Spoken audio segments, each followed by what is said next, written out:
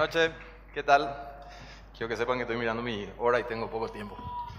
Bueno, eh, estaba viendo los videos de Gramo antes de venir y veo que hay que, medio que introducir el tema, no podemos entrar directo a hablar de Guarará, así por eso puse mi pornografía preferida para todos ustedes. Eh, yo trabajo en diseño básicamente hace 12 años, trabajo en publicidad, que eh, el diseño es, o sea, es el, yo creo que en el futuro es el lenguaje del futuro, ¿verdad? La señalética, uno va a viajar a Hong Kong y se va a ir y ¿dónde queda el baño? Ay, gracias, señor. Hay un taxi, un taxi, me voy hacia ahí. O sea, eventualmente vamos a comenzar a hablar porque ya no hay más tiempo. Uno ve Twitter y ve que hay eh, poco tiempo para poder comunicarse. Bueno, o sea, el diseño es algo que siempre me, llamó mucho la atención, pero me di cuenta después de 12 años que nunca me fijé, laburando en esto, en el diseño natural del cuerpo, ¿verdad? En que tenemos dos orejas y una boca, ¿verdad? que tenemos que escuchar el doble y hablar la mitad. Que estamos viviendo en un país en donde hay un discurso verticalista. O sea, no sé si le pasa a ustedes, se van a un asado y vos estás metido ahí, te la me pasó esto la otra vez, estás llevando el ritmo del asado impresionante y alguien sale con, eso no es nada, yo tengo un primo que, destruyendo absolutamente todo lo que estaba diciendo, ¿verdad? Vamos, un aplauso para el primo, que siempre es mejor que uno, ¿verdad? Entonces, existe una cuestión de conversación horizontal. Lo que estamos buscando, lo que estamos haciendo acá, estamos polinizando ideas, ¿verdad? Estamos tratando de que mi boca hable la mitad del tiempo que pueda y ustedes me presten un rato sus dos oídos. Entonces, la conversación horizontal comienza a generar esa cuestión de, polinizar ideas, de poder conversar y de poder empatizar con otra persona, porque al final del día pasamos por lo mismo todos los días, solo que no nos estamos escuchando. ¿verdad?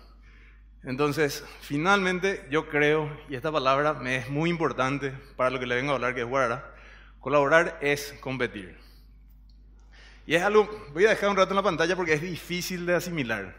O sea, es difícil entender el hecho de que si yo te ayudo, vamos a estar todo mejor.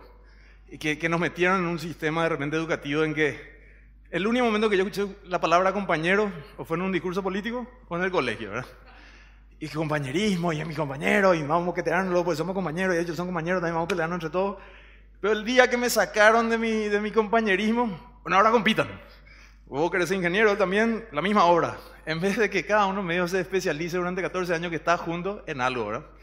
Entonces, la primera vez que escuché esta frase fue este señor. Se llama Alexander Boguski, Alex Boguski. Googleenle, el dios Google le da la solución de cualquier cosa que no sepa, ¿no? ¿verdad? Él creó un movimiento que se llama Fearless. Es, es uno de los creativos más renombrados de, de Estados Unidos. Creó un movimiento básicamente que buscaba que blogueros comiencen a, compartir su, su, visión sobre cómo veían las cosas.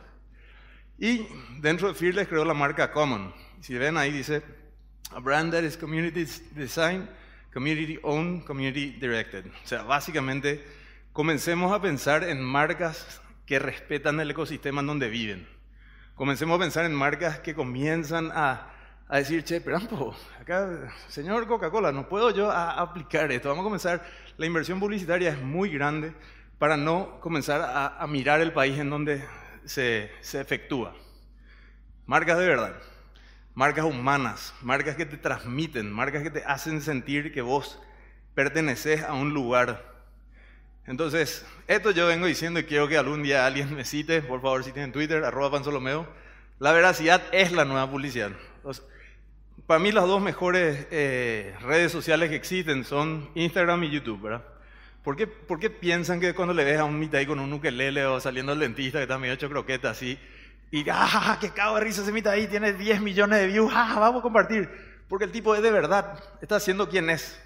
Y eso es lo que tienen que ser las marcas, tienen que ser verdad, tienen que ser gente que vive con tanta pasión que verdaderamente te puede transmitir lo que quiere. Entonces la veracidad es la nueva publicidad. Si yo vivo de verdad, yo soy de verdad.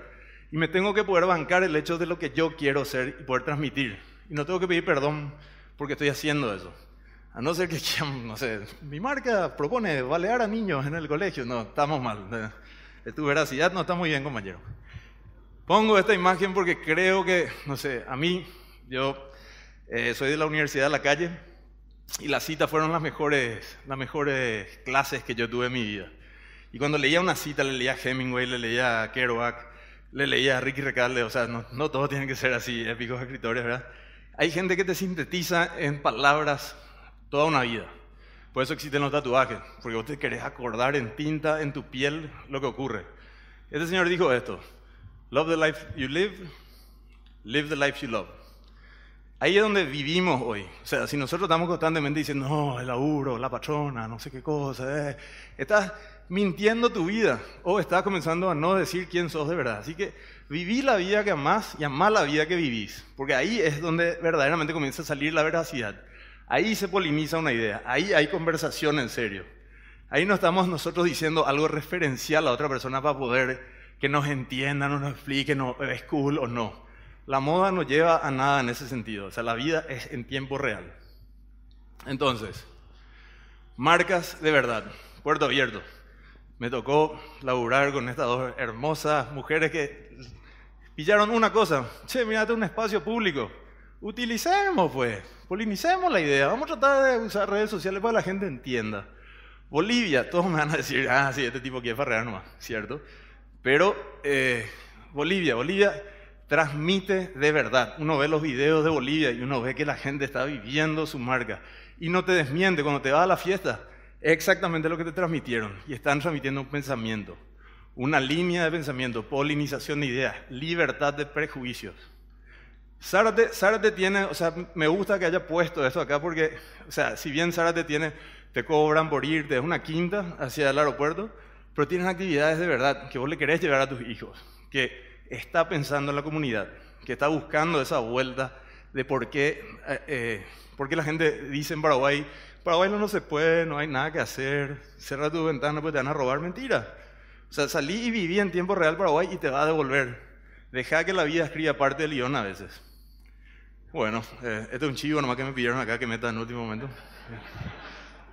gramos, gramos, o eh, TED, bueno, TED, gramos, uno comienza a ver todas esas cosas. El colectivo Yo Pará, a mí me encantó esta marca. Esta marca en particular, Vaca Pipopó, no sé si conocen, fue, para mí fue, me inspiró a ver gente de verdad, gente trabajando con, con, con los peloteros de Quindí, comenzando a, a, darle la vuelta y comenzar a analizar de verdad, che, ¿cómo, ¿cómo hacemos para mezclar arte con vida?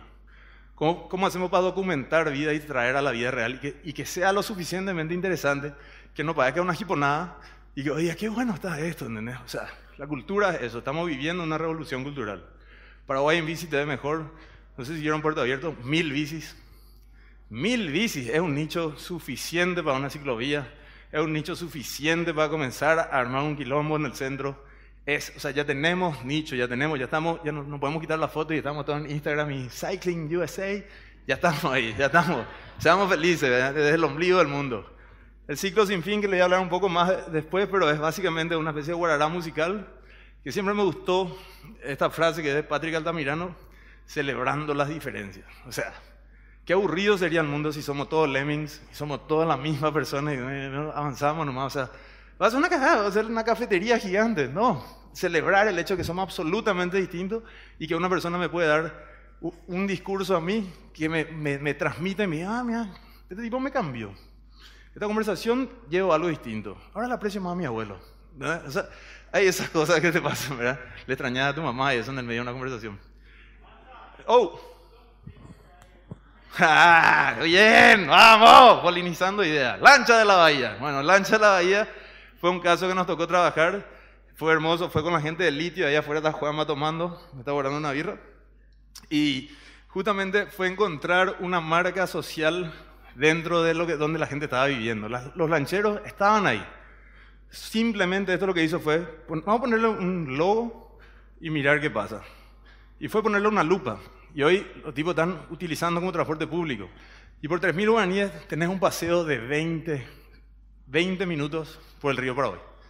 Eso no existe en el mundo. 3.000 guaraníes, 20 minutos en el río Paraguay.